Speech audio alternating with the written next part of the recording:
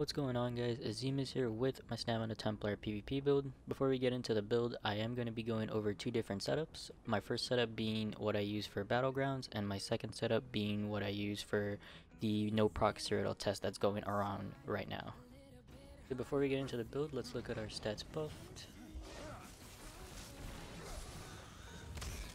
As you can see, we have 6.8k weapon damage, 2100 stam recovery, 700 health recovery, 500 magicka recovery, 14k maximum magicka, 24.8k health on the front bar, and then 25.8 on the back bar, 31k max stam, and our back bar for our resistances, we have 25k spell resistance, 22k physical resistance, and 1900 critical resistance.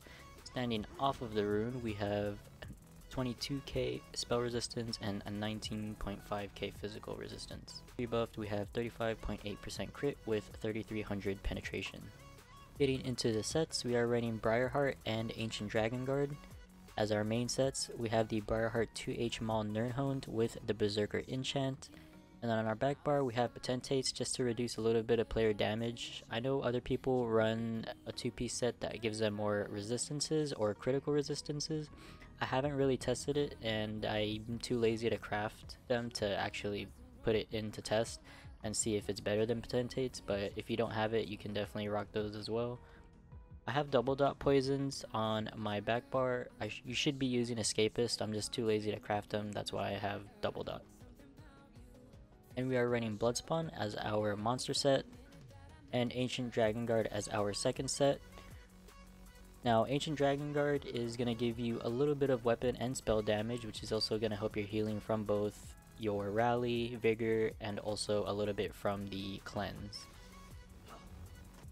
What I like about Ancient Dragon Guard is the resistances that you get when your health drops below 50% because when your health starts going below 50% you're typically not be gonna be attacking you're always gonna be on your defensive and you usually pop a vigor and then you're chilling for Ancient Dragon Guard, we have the chest, waist, gloves, legs, and boots.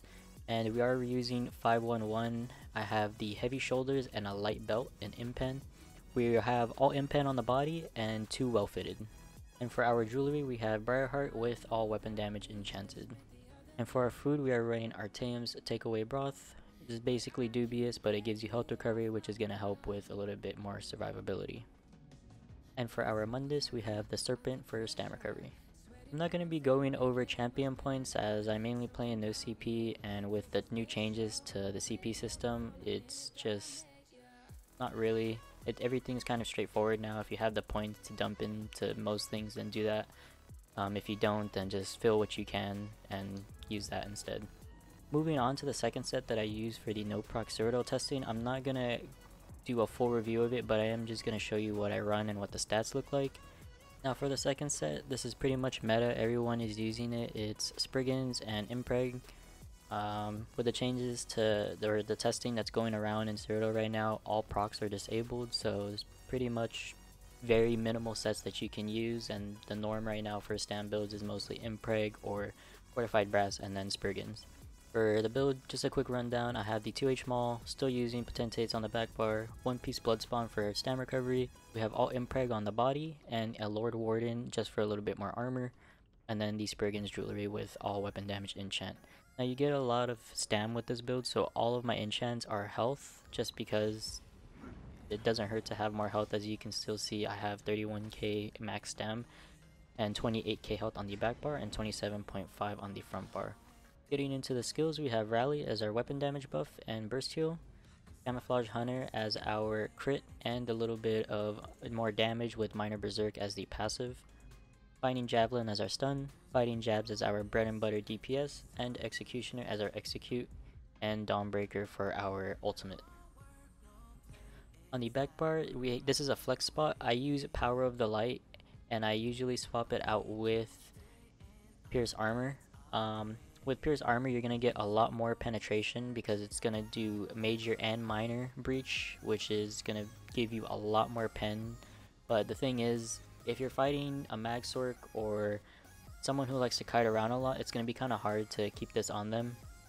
So you lose out on this being able to cast it at a distance and then close it. And it's also a little bit more burst, but it's up to you guys. I typically swap this out every other game. It just depends on the type of fights I have. Our second skill, we have Elude. This is going to be a little bit of damage reduction from AoEs, but mainly used as our speed buff.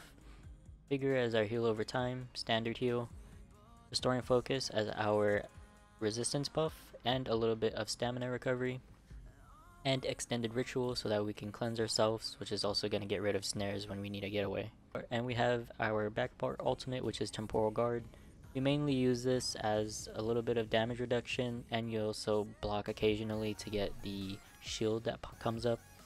Alright, that's all for today's video. Thank you guys so much for watching and if you want to see the build in action, I'm going to leave timestamps down below of both of the builds just so you can get a feel for how they work in actual PvP environment. Peace out. Música